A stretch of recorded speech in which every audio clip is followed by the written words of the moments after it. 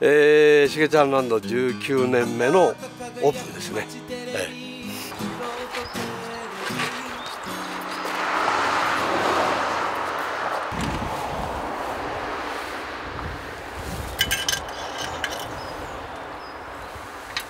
えー、来年20周年なんで、まあ、とりあえずその助走期間なのかなという、感じですね。泣いちゃう子いるんじゃないかな今年。面白いね。でもあの最初ピロって来るの克服しようと思って。まあ例年のこととはいえ、はい、なったってあの部屋数が多いんで。鍵鍵っ子ですよこの年で。鍵っ子ですね。これ全部開けて歩かなきゃいけないんで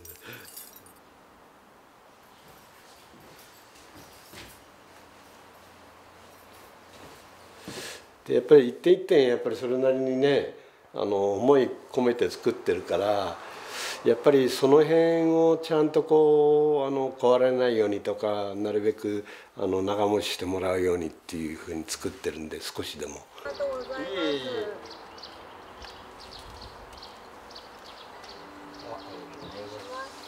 す。毎年5月の連休は必ず来てるので。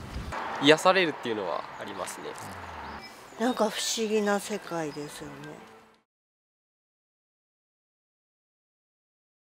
チケット売り場で僕がいるっていうのは驚く人が多くて。あの作家ってパーティーの時しか顔出さないみたいなのってあるじゃないですかあとトークショー、でもなんか一番入り口の玄関に 受付にいるっていうのはなんか非常にその辺がなんか他であのまた違う作家がもぎりしてるっていうのはね昔の。すごい白拍手してください。からそうもう何年もね来たくてようやく来たの。そうですか。念願でした。どちらから？札幌です。ああお疲れ様です。あのそういうこう久しぶりとかああしげちゃんなとかって来てくれるじゃない、でやっぱりそれがなんか一番なんか大事なきコミュニケーションじゃない？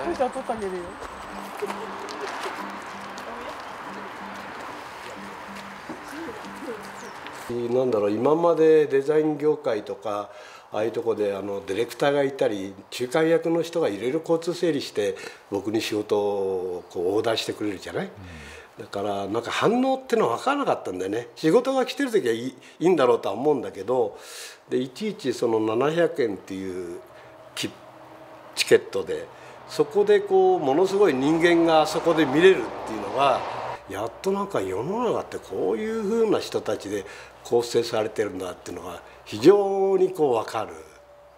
面白い。すごい面白い。飽きないだから。うん。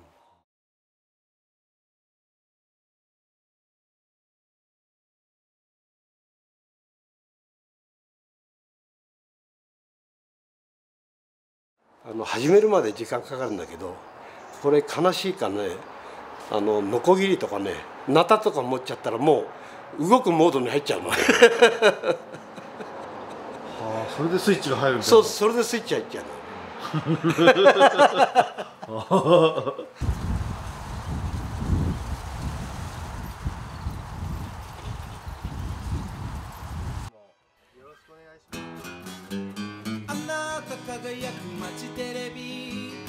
foto